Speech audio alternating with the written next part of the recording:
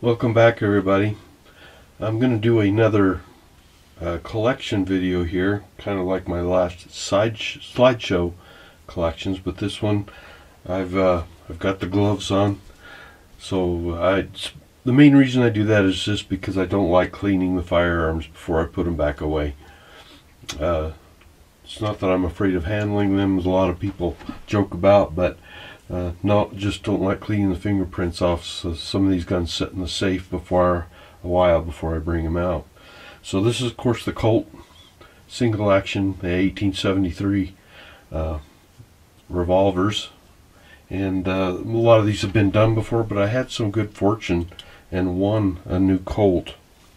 Uh, this is not it in a in a raffle so I wanted there's actually not a Colt but a clone most of these are clones uh, this one you've seen before. This is my uh, Colt uh, that was engraved and uh, ivory grips.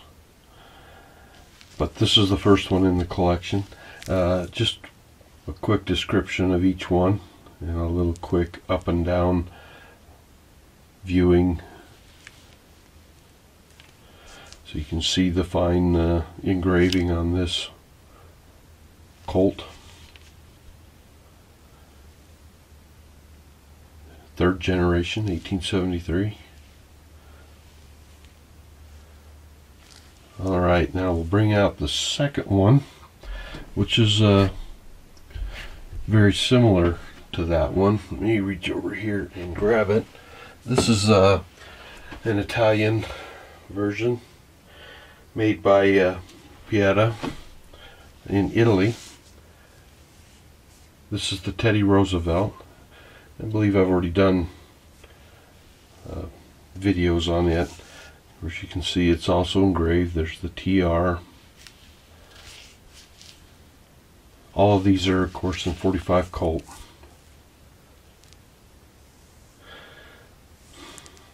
But I believe they called this the Teddy Roosevelt Frontier, if I remember right. That's the way it was cataloged uh, mimicking the uh, Teddy Roosevelt uh, firearm that he owned.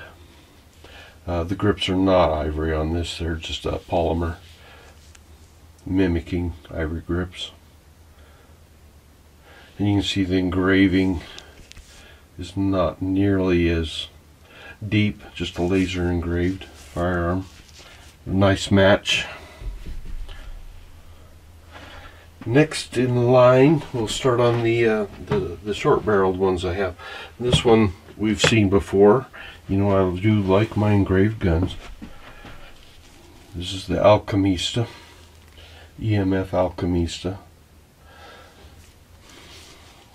Very unusual gun. Um, it's the gun that was never made, as I said in my you can see Great Western 2 on it. Uh, this is another Pietta manufactured gun. Oversized grips. This has the optional factory stag grips. They're a, a bonded stag. They aren't actual stag. but So it's an epoxy impregnated poly combined polymer with stag in them. I believe is how that's done. You see the engraving again is laser engraved, but a real fun shooter uh, with its octagon barrel, oversized grips. Really a nice addition for uh, shooting to the collection. And it's a handsome gun too.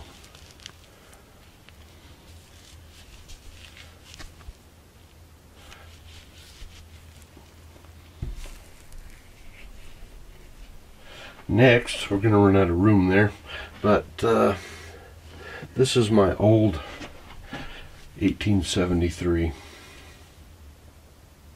This is the uh, Cimarron Frontier. I believe this one is an Uberti built firearm. Uh, the color case hardening, of course, the Italians do a fine job on their their guns anymore. Nothing fancy about this one. I've had this one many years. A lot of rounds fired through it. Uh, exceptionally nice trigger on this firearm, the best of all the fire, all these that are laid out here.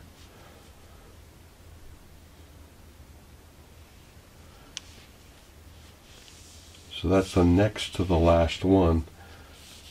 And that is uh, the only fully blued one I have. Well, with the exception of the uh, Alchimista, which has its partially uh, stay. I believe that's stainless engraved. And then the last one. This is one I won just a few weeks ago in a raffle. It was a twenty dollar raffle ticket, and I won this uh, Pistolero, Cimarron Pistolero. This one is made by Pietta as well. Uh, so you can see the last one was a Uberti, this one's Pietta. Again, virtually the same firearm made by different companies. This was basically a $20 firearm to me as I wanted in a, as I said, in a raffle ticket from from a, uh, a gun shop here in my state. It was an appreciation day that they did not get a hold because of the virus, but they went ahead and held their raffle, and lo and behold, my name was drawn. And this 45 Colt 1873 nickel plated was uh, had my name on it.